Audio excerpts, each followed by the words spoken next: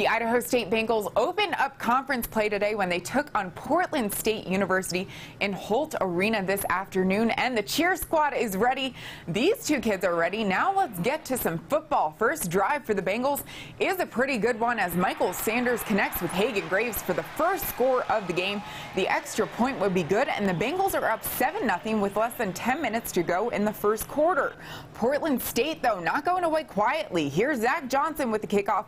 Number four 41 Cahill Dawson is there to receive it, and he'll cut all the way to the outside and take this one to the house for a 94-yard touchdown return.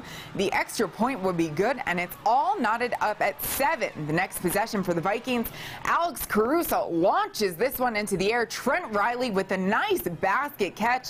He takes it into the end zone with the extra kick. The Vikings are now up 14 to 7, just seven minutes to go in the first quarter. Start of the second quarter now, Bengals down 17 to 7. Cruz uh, hands it off to Paris Penn, who scampers 38 yards into the end zone. Give him six. The extra point would make it 24 to 7. That's 24 unanswered points that the Vikings put up.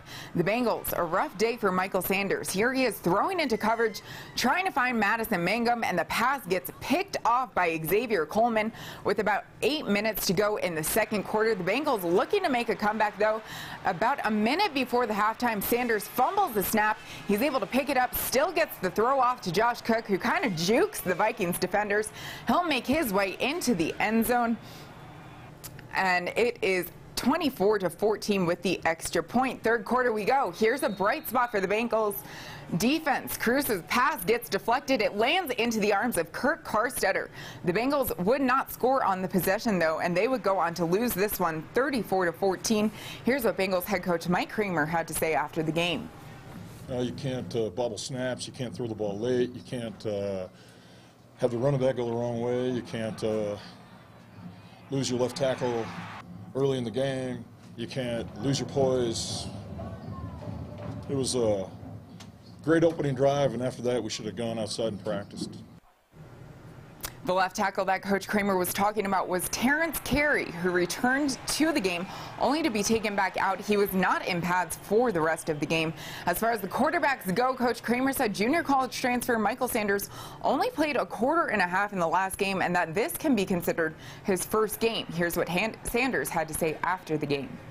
I mean, yeah, just from, I mean, that, that first drive showed what we're obviously capable of, but uh, we just can't, we just can't fall asleep like that um, from that point on. I mean, that's just not acceptable in this program, and we know that. And, uh, you know, we're just going to work harder this week to improve on it.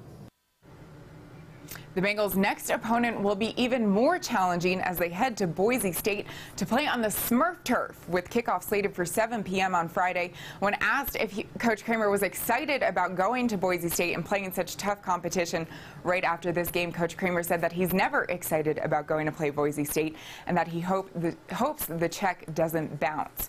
Over to